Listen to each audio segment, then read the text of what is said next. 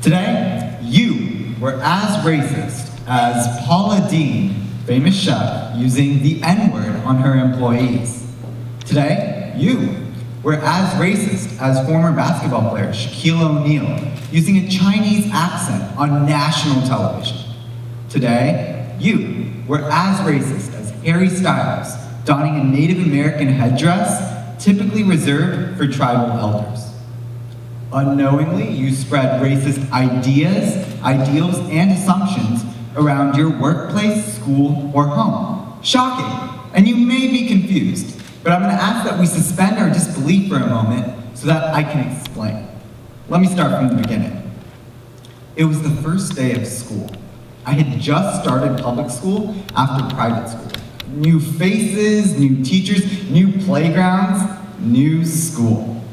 The teacher had just started calling roll, and it was really bright and early. When she got to my name, she paused for a minute and she said, Oh boy. She proceeded to call out my name with the wrong pronunciation. Little first grade me immediately corrected her. Oh, my name's Thage. She tried one or two more times, but she couldn't get it. And in the end, she threw her hands up and said, You know what? This is too hard. I'm not going to bother. Why don't I call you Tej? That's the way it's, it's pronounced. Little first grade me accepted because little first grade me didn't want to be difficult for anyone. My name's spelled with three letters T, E, and J. You'd think that's an easy thing to pronounce. Unfortunately, it's not spelled the way it's supposed to be pronounced. That's actually the way it's supposed to be spelled, Thage. And uh, the problem was that Indian, people who aren't raised in an Indian household or speak an Indian language can't say the th sound to correctly pronounce Indian names. So going back to that teacher, when she said, this is too difficult, there was a hidden message behind those words. An implied racist message that upon reflection years later, I finally understand. That hidden message was, look, you're Indian, and your name is not normal. So instead of me trying to learn your name and the correct pronunciation, I'm gonna Americanize it and turn it into something that fits my way of thinking. That teacher unknowingly was committing a racial microaggression against me. A microaggression, while definitions vary depending on who you ask, well, a simplified version of that academic definition is that a microaggression are the everyday things we say or do that are full of unintended discrimination and full of hidden messages that are discriminatory, whether they're anti-LGBT, racist, sexist, ableist, ageist, etc. Today, I want to focus on racial microaggressions. Now, these are, these are actions or words that have hidden racist messages. To clarify, racial microaggressions don't need to happen between a majority group and a minority group. They can happen between anyone, an Indian person and a Chinese person, a white person and a black person. They can happen between anyone. Here in the Bay Area, we're home to one of the most diverse communities in the entire United States. With such interaction between cultures, racial microaggressions are rampant. Here's just a few examples of what racial microaggressions look like. A girl of Hispanic descent is the only person of color in her AP class. When they start a discussion about Spanish tradition, everyone looks directly at her, expecting an answer. That's a microaggression. The hidden message, you're, you look Spanish, so you must know the answer to all things relating to Spanish culture, even though you're actually from the United States and from Mexico. Scenario number two. A white woman is walking down the street when she sees an African American teenager. And when she sees that teenager, she clutches her purse a little bit tighter that's a microaggression. The hidden message is that you, people of your skin color, will try to rob me. Scenario number three. Um, a girl of Middle Eastern descent has moved to the uh, moved to your school, and you ask her, "Where are you from?" She answers, "The United States of America." You ask her again, "Where are you really from?" That's a microaggression.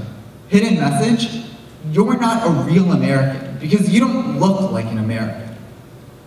While these may seem like small things, that's exactly what microaggressions are. They're the everyday things we do or say that are full of unintended discrimination based on racist stereotypes. It's important to note that intent does not equal impact. The most common excuse that people have when they commit microaggressions is that the aggressor will say, oh, I didn't mean it like that. But intent does not equal impact. If we intend for our actions to not be offensive, even if someone even if we intend our actions to not be offensive, if someone takes offense to that action, then that action has had a negative impact on another human being. And that's wrong. So, now let's talk about all the people who think that microaggressions aren't a real thing. Everyone out there who thinks that microaggressions aren't a real thing think that it's a bunch of political correctness BS. For example, Matt Walsh, self-described blogger, writer, father of twins, bourbon enthusiast, and noted alpaca grooming expert, when he tweeted out, my wife just asked me to take out the garbage. Is that a microaggression or just a regular aggression? Well, to Mr. Walsh and to all the naysayers, go back to the definition of a microaggression. A microaggression is an action or word with a hidden discriminatory message.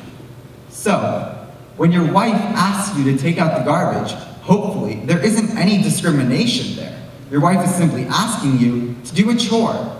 And so that's why that's not a microaggression.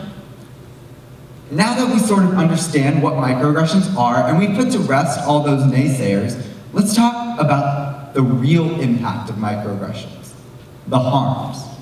Now these harms can be summarized into two main areas. The first area, which I already touched upon a little bit when we discussed the name debacle, is identity. Every time we make a microaggression, we're passing judgment on another human being, on their identity, on the characteristics that make them who they are.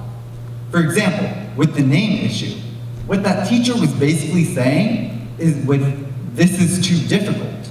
She was saying your name is too foreign, too not American. That was an attack on a fundamental aspect of my identity. Unfortunately, these attacks on identity, especially for minority groups, is quite widespread. According to a survey done by the Cultural Diversity and Ethnic Minority Psychology branch of the American Psychological Association, over a period of 90 days, the average student of color experiences 291 microaggressions. That comes down to about three microaggressions every single day. That's three times a day, someone asking you, no, where are you really from? Three times a day, someone clutching their purse when they walk by you. Three times a day, your fellow students, your peers, your teachers, your colleagues, picking up a hammer and a nail and chipping away at what makes you, you. The second harm of microaggressions is stereotypes, and specifically promulgating racist stereotypes against minority cultures.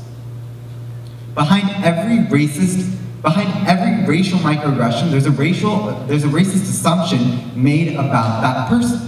For example, if an African American girl was going to a Ivy League university and you went up to her and said, You must be so thankful for affirmative action. The racist assumption is that African American people are not smart. And so the hidden message there is that you are not smart enough to get into this prestigious university by yourself. So you must have relied on affirmative action to get you in. We especially see microaggressions in our media, the media that we consume. Even in my favorite movie, Mean Girls, you can see microaggressions everywhere. And it's not that I'm looking for microaggressions, it's the fact that they're there. For example, from the movie, Cady Heron has just moved from Africa to the United States. Both her parents are originally from Michigan, and she's white. So, when she introduces herself to this girl, Karen Smith, arguably one of the dumbest girls to ever be in a movie, um, Karen, understandably, might say, So, if you're from Africa, why are you white? Hidden message all people from Africa have black skin. So it confuses me when you say that you're from Africa and you have white skin. Granted, this movie was purely comical in nature, but the fact was that the microaggression was there. We've allowed discrimination and racist stereotypes to continue in a much more nuanced, but equally hurtful way.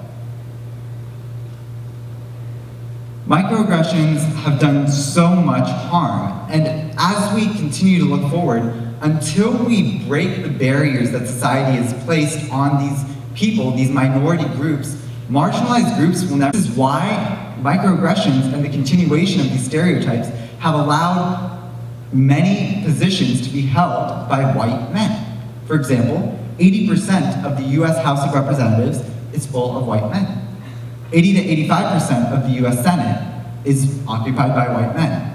And 92% of the Forbes 400 executive level CEO positions are held by white men. While it may seem a little weird that white men are so rampant within our leadership, it's unfortunately true. And the reason that we place, uh, we place power in 33% of the, uh, we, sorry, replace the power in a part of the population that only makes up 33% of the population. Simply put, that's not fair, and that's not what true equality looks like. Because of that one microaggression a decade ago, my name is Tej. From that point on, I began to introduce to myself to people as Tej because I wanted to bypass that initial awkwardness of being difficult when asking them to pronounce it correctly. From that day on, the identity given to me by my parents was superseded by the identity given to me by that teacher. Ultimately, that really has ingrained Tej as a part of my identity, and today I don't see that changing. Tej has become a part of who I am because of a 30 second conversation with a teacher. So don't be like me. Don't let that 30 second conversation fundamentally change who you are. Psychologist and Columbia University professor Derald Wing Sue puts it best.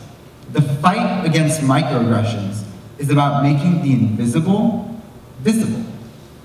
So as we move forward, we need to make sure that we make the invisible visible. When someone commits a microaggression, we should tell them. The real solution is awareness and encouraging people to see the error of their ways. So we are also a part of the solution because we, as we become more savvy, more cautious, and more aware in our actions and words, we're becoming better citizens of this world. Ultimately, our words and our actions have limitless power over the people around us. And it's important that we control that power. Stop subconsciously promulgating negative ideas about other people and make sure that you correct other people when they do that. So tomorrow, you could be as racist as all those aforementioned celebrities. If you walk out the door tonight and you throw away the idea of microaggressions into the trash, you will be continuing this nuanced form of discrimination. You might think you're not a part of the problem, but I promise you, the observant and kind people of the world will see right through that facade. You will be a part of the problem. You may not be making huge, sweeping declarations about Mexicans or Muslims but you will be promulgating negative ideas and racist ideas throughout the entirety of your life. So let's change together. Let's stop subconsciously making these negative ideas move forward. let's try and end racism. Because as long as microaggressions exist, racism still exists as well. Thank you.